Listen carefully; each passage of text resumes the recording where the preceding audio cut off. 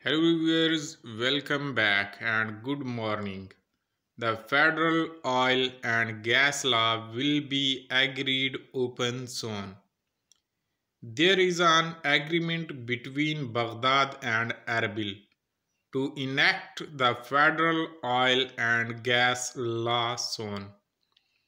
What they are trying to do is adjust the official rate to the parallel market rate. They are at an official rate of 1310 dinar, but the parallel market is not quite the same. We will have to see how they roll, whether that's at 1570 or 1132 to be determined.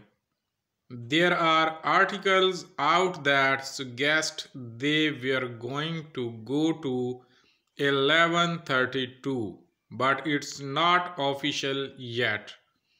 We will have to wait and see how that turns out